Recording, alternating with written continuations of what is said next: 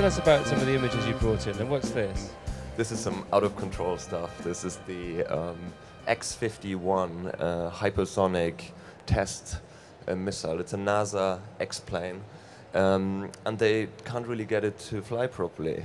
um, it flies like six times the speed of sound, and the whole thing is a beautiful um, ceramic, um, you know, wedge um, that always keeps disintegrating over the Pacific.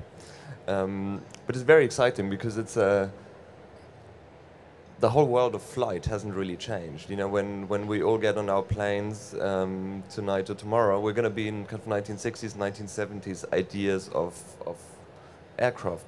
Um, and this is the new stuff, and it's much faster, and it's there. Now, what they need to figure out is how to keep it up in the air. But um, I think they're, they're doing three minutes now, which is pretty good. So how does this manage to attain such speeds that are so like far removed from the speeds we can travel at today? it's co it's computing. It's like it's it's an uncontrollable object, and only computer code can keep it stable. And I think that's quite interesting. That there's like physical objects out there, including every Airbus aircraft. It could it wouldn't fly anymore when you switch off the computer systems. It would just like fall down. So the the software becomes integral part of a physical object. Um, and I think that's a that's a fact and that's a reality. Um, and that's not even the future. That's now because most commercial airliners are flown by computer these days, aren't they? But I imagine that most of them, if the computers shut down, could the could the captain, the pilot, still land the plane, or is is the man he's just there as a figurehead it depends. of humanity? There's two. There's two bit. There's two schools. There's the the Boeing school is very solid, so you can switch off everything and you can literally fly a 747 like a Cessna. Um, the European way of doing it, the Airbus way, is the complete opposite the plane isn't stable in the air without the computer systems. So, so the computer actually, the, the pilot thinks he's flying it, but actually the computer con continuously intervenes and keep, keeps the aircraft stable. So they don't even really need a pilot then? Probably not. Probably not. And that's, you know, remotely aircrafted, uh, remotely piloted aircraft are very, I mean, they're, they're, changing the face of war and also politics. Um, Drones.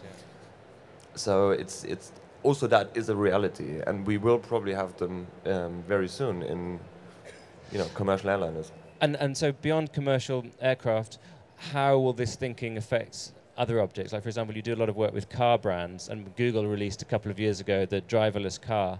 Are car brands looking to the day when a driver won't be needed to to concentrate on the road, can can relax, read the newspaper, surf the internet? Is that is that far away? Well, it, it's there. Th those cars are driving very successfully. Um, you know, in California, in Bavaria, in every, every, you know every car company has autonomous vehicles. But um, the interesting thing is that now legislation and politics need to catch up, because what happens if? Uh, there's so many questions around that. So the the big challenge is not building the self-driving vehicle anymore. The big challenge is to build the system around it this is something we're very excited about. We we are at the moment working with the engineers building these um, race cars. It's a Le Mans. It's an Audi Le Mans uh, R18 race car, and these cars represent the ultimate in losing fat, in getting rid of unnecessary weight, and basically shaping objects that combine a lot of technologies um, new technologies in a car that's just to build to, to last 24 hours on a racetrack in Le Mans. And working with these guys is really exciting because the way they um, see a vehicle, it's a system. They only think about it as a very complex system. Um, the way they think about sustainability, they think about sustainability as a system from, from cradle to grave, from like getting metals out of the ground, you know, melting them, processing them, and so on. So it's you know it's the same with carbon fiber. They they really consider saving weight in a vehicle, like how much fuel can you save on the road by saving weight, but how much energy do you have to invest in the lightweight materials in order to do that? And they run the numbers on all of that, and that's very exciting because it's it's a whole new. It's not the wood thing. It's almost ridiculous to you know. It's not now we do like organic sustainable furniture and we get out the chainsaw and Um, and those guys, they think completely differently. They really think of energy as you invest energy in an object, make it very light, but then you need the return on investment by saving energy afterwards. And only if that, only if you break even and actually, you know, save energy after 100,000 kilometers on the road, only then it's worthwhile doing it. Otherwise, it's a waste. So it's not a moral argument, it's more like a spreadsheet argument. It's an enormous spreadsheet, you know, because a car has 50,000 components, so you actually run the numbers on the whole thing. And and there's no and it's very difficult to explain that to to to to, to non-engineers because it's like the whole idea is like you have to know how how metals are melted down how mine how much energy mining uh, requires and so on um, so it's very it's it, it's not very good for marketing like the wood thing is much easier like getting the chainsaw out it's like everybody agrees that it's you know it's it's it's an organic and natural thing a wooden chair but um, actually a plastic chair might be much more efficient. It may last much longer, and the energy invest may be much lower. No, it's a fascinating argument, and uh, when people think about sustainability and saving the planet, they automatically think about uh, having a, a, natural wooden table and eating a, a, fish from the ocean, but you're then taking a tree and a fish out of the ecosystem to do that. Exactly, and you know, and design students kind of these days tend to think that everything they can make with a cordless drill is amazing and that's also rather naive. You know, like the the age of mass production hasn't stopped with more and more people on this planet, so we can't customize products for everybody.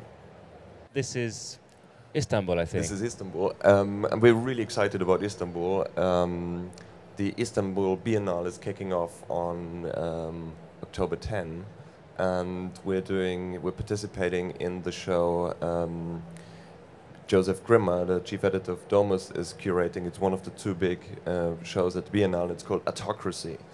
And it's dedicated to all systems that operate outside of the established systems.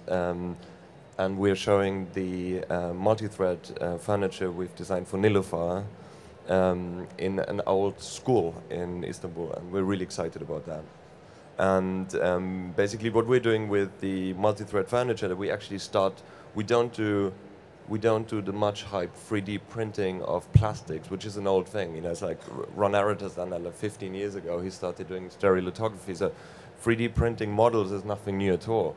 Um, but now there's technologies where you can actually print usable objects. So with uh, you know with printing plastics, you can't even really make an ashtray because it's going to melt. So most people do egg cups. Egg cups are very popular in 3D printing. Um, but now there's technologies where you can actually melt down metal straight away and print metal objects straight away. And that's what we're using. It's called selective um, laser melting. You can use any metal. You, you basically have a laser that, you know, melts down little portions of powder and you build up an object. And that's what we're using for our um, furniture. And the interesting thing is that we, we, we don't need anybody to do this anymore. We, we have a network of companies that provide us with, you know, the printouts, the tubes, the color, blah, blah. And we write the software that ties all of that together and just produce it ourselves. So we basically deliver to our gallerist an entire show, you know, the whole thing, including the furniture, the boxes, the crates, the, you know, everything. Um, and, and Joseph kind of has identified a couple of similar um, mode, modes of operation, people making drones, people plugging stuff together. Um, and in many cases, stuff intellectual property of third parties. So it's it's no longer that the inventions of the 21st century are no longer the jet engine, the the, the Edison light bulb, these kind of, you know, singular iconic objects, singular bright moments. Um, but a lot of them are collaborative efforts. By definition, like every, you know, every computer, every camera, every mobile phone, every one of you has one or two devices in their pockets that are built from the intellectual property of thousands of people. You know, lines of code, patents for this, patents for that. Um, and that's actually what I wanted to talk about uh, during the next slide, so we can um, do that. I love these. Uh, I love these. Um, I love this image. It's, it's like one of the best images ever. It's almost pornographic in the sense that it shows us how incredibly complex every human being, every animal is, uh, and there's so much chem- chemistry, engineering, bioengineering going on that nobody really understands it. Not even doctors really understand it. Not even biologists really understand it. There's always an expert who knows about your teeth, who knows about you, know, um, very particular fields. But the big challenge of the 21st century is to control entire systems, complex systems, and understand all of it. This is some finite elements analysis, and we're this is something we're bringing into the design software we're writing. So we we basically take we take engineering um, code that lets us calculate the forces acting within an object under load. And we're bringing that into design software we're writing um, in the very beginning. So as we design something, we can see what happens inside the object. Um, and that's a quite new thing to do because normally this kind of software comes in after the designers have long left the room you know, then the engineers figure out how to do it, and they use a standalone piece of software to take a 3D model, they load it into that software, they look at it, and they understand how it how it works.